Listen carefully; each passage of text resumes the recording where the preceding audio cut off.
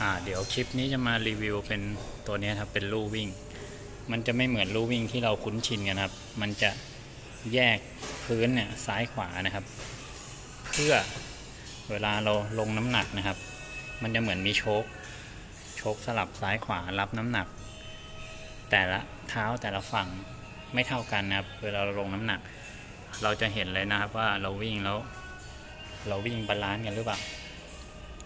เดี๋ยวมาเล่นให้ดูนะครับ ก็ฟังก์ชันมันก็เหมือนลู่วิ่งทั่วไปนะครับ ปรับปรับ speed ปรับความชันนะครับเดี๋ยวเริ่มให้ดูเลยนะครับ ก็ผมเอา quick start เลยด้วยกันเริ่มนะครับ เดี๋ยวปรับให้ปรับเร็วๆเลยเดี๋ยวดูนะครับว่าสองฝั่งเนี่ย มันจะมันจะลงน้ำหนักไม่เท่ากันนะครับ ปรับความเร็ว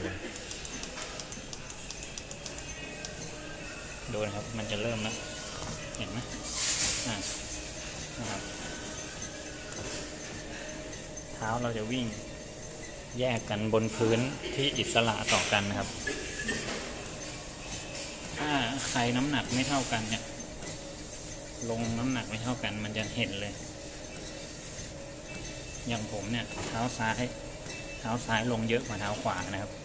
เท้าซ้ายจะยุบเยอะกว่าเท้าขวานะครับ ก็ประมาณนี้แล้วกันนะครับ ตอนหยุดก็กดสต็อปเลยก็ได้ หรือจะปรับความเร็วลงมา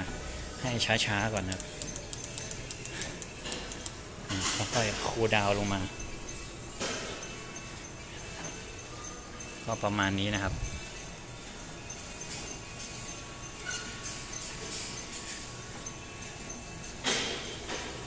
ซื้อกดหยุดเลยครับปึ๊บคลิปนี้ก็จบเท่านี้ครับ มันจะบอกพอดีผมเจ็บบ่อยนะพอมาวิ่งอันนี้ก็รู้แล้วว่าน้ำหนักตัวเองเนี่ยไม่ balance นะครับลงไม่เท่ากัน อาจจะเกิดจากเราลงน้ำหนักไม่เท่าจริง หรือความแข็งแรงของ body เราแข็งแรงไม่เท่ากันนะครับ หรือ balance ในตัวเรา มันไม่มันไม่เสมอกันนะครับ มัน เป็นอีกหนึ่งสาเหตุให้เราเจ็บนะครับคลิปนี้ก็รีวิวให้ดูสั้นๆเท่านี้ครับสวัสดีครับ